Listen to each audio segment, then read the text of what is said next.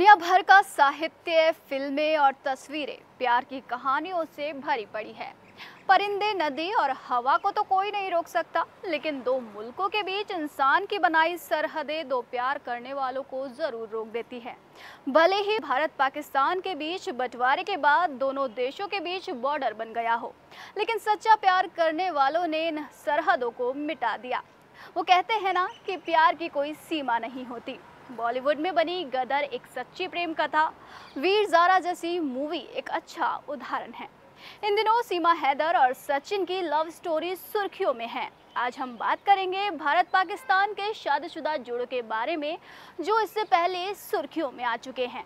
2 जनवरी 2023 को दोनों का निकाह हुआ, लेकिन पहली बार दोनों एक दूसरे से मिले 138 दिन बाद, यानी 10 मई 2023 को। यहाँ तक कि दोनों का निकाह भी बिना मिले ही हुआ था। 10 मई से पहले कभी अरूज भारत ना आई थी और ना ही मुजमिल कभी पाकिस्तान गया था, लेकिन दोनों को मिलाने में कोरोना लॉकडाउन का बड़ा हाथ रहा। दरअसल दुल्हे के दादा पाकिस्तान से भारत एक रिश्तेदार की शादी अटेंड करने आए थे। उसी दौरान ये रिश्ता फिक्स हुआ, लेकिन वीज़ा नहीं मिलने के कारण शादी में देरी हुई।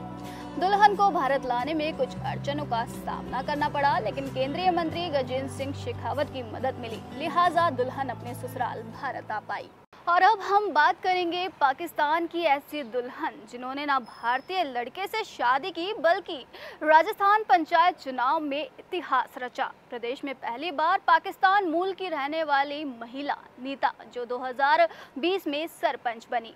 नीता ने अपनी बारहवीं तक की पढ़ाई पाकिस्तान के सिंध में पूरी की। उसके बाद वह अपनी बहन और माँ के साथ भारत लौट आई, लेकिन उनके पिता और भाई अभी भी पाकिस्तान में ही रहते हैं। उन्होंने अजमेर के सोफिया कॉलेज से बीए की पढ़ाई पूरी की। नीता 18 साल के बाद पाकिस्तान से लौटी थी। 2011 में उनकी शादी पुण्य प्रताप करण के साथ हुई। नीता को 8 साल के लंबे इंतज़ार के बाद भी भारतीय नागरिकता नहीं मिली थी। इन दिनों सीमा हैदर और सचिन की लव स्टोरी सुर्खियों में है। पबजी खेलते हुए सीमा हैदर, सचिन मीणा को अपना दिल दे बैठी। इसके बाद दोनों को प्यार का परवान चढ़ा तो दोनों कई घंटों तक फ़ोन पर बातें करने लगे।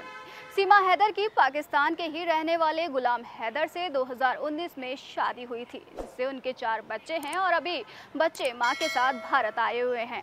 सचिन मीणा के परिवार के साथ अभी बच्चे खुश हैं।